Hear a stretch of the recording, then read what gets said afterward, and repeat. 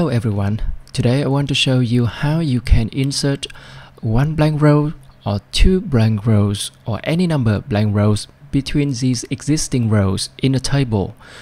Okay, for example, we will look at this example. First, we need a index column. For example, in column K, index column, and then I will need to number these rows one, two, three, and I will highlight these rows and I will drag down to the bottom of the table.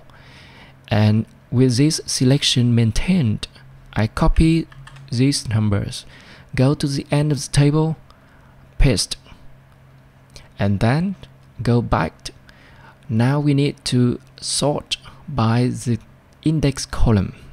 Let's do that. Okay, Control A and Control Shift L. Now you will need to sort from smallest to largest. Now you will have your blank row between existing rows. Okay, now you can safely delete the rows here by clear, clear all. Okay, now go to the second example.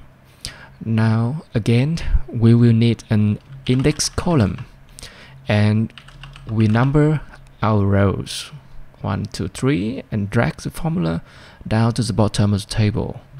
Copy paste to the bottom of the table and again go to the bottom of column K and then paste again.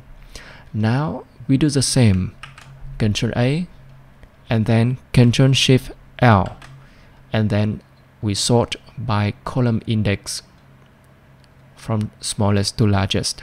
Now you will have two blank rows between these existing rows. Okay, so the same thing, you get the idea. Thank you for watching.